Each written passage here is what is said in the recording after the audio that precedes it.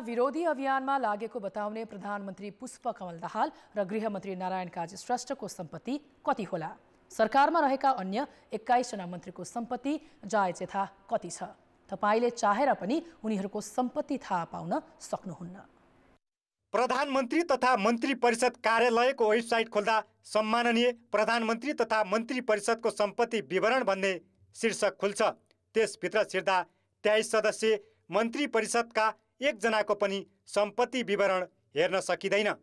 किनभने अहिलेसम्म प्रधानमन्त्री पुष्पकमल दालसहित कुनै पनि मन्त्रीले आफ्नो सम्पत्ति सार्वजनिक गरेका छैनन्। मध्ये प्रधानमन्त्रीसहित छजनाले सम्पत्ति विवरणसम्म बुझाएका छन् तर त्यो गोप्य राखिएको छ। छिनछिनमा मन्त्री परिषद पुनर्गठन गरेको गरे गरेको गरेछौँ। अब बल्ल पूर्णता पाएको छैन। एकजना बाहेक पूर्णता पाएको छौँ। अनि यी पूर्णता पाएपछि सबै कुरा सुशासनमा जान्छ। बुझाउँदै नबुझाउने एउटा पक्ष बुझाएर पनि सम्बन्धित निकायले चाहिँ त्यसलाई सार्वजनिकीकरण नगरिदिने अर्को पक्ष। दुइटै कुराहरू छन्। मन्त्री बनेको साठी दिनभित्र कानुन अनुसार सम्पत्ति विवरण बुझाउनै पर्छ। प्रधानमन्त्री र मन्त्रीले आर्थिक पारदर्शिता र सुशासनका लागि आफ्नो सम्पत्ति सार्वजनिक गर्ने विगतको परम्परा छ।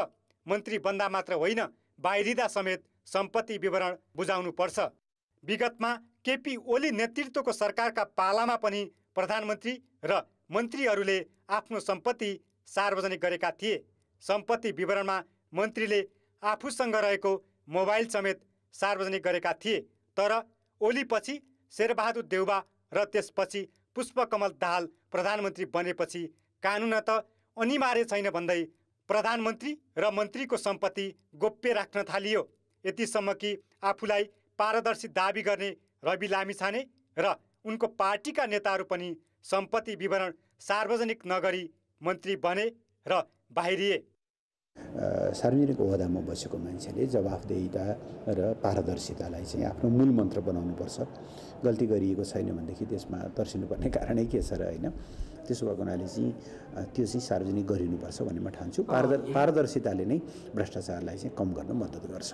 यो सरकारले चाहिँ त्यो काम गरेको छैन। यसले मात्रै होइन बालकोनी मन्त्रालयहरू खोलेर बसेका परदेशवालाहरूले पनि त्यो काम गरेका छैनन्। त्यो गर्नै पर्ने कुरा हो। यसले पारदर्शिताको कुरा गर्दछ जवाफदेहिताको माग गर्दछ त्यही त हो नि कुरा। अहिलेको सरकारले आफूलाई भ्रष्टाचार विरोधी अभियानमा लागेको दावी गरेको छ तर यस्तो दावी गर्ने सरकारकै प्रधानमन्त्री उप प्रधानमन्त्री र मन्त्रीहरूले विगतकै सरकारका पालामा सुरु भएको सम्पत्ति सार्वजनिक गर्ने अभ्यासलाई किन नमानेका होलान्? सरकारमाथि प्रश्न तेर्सिएको छ।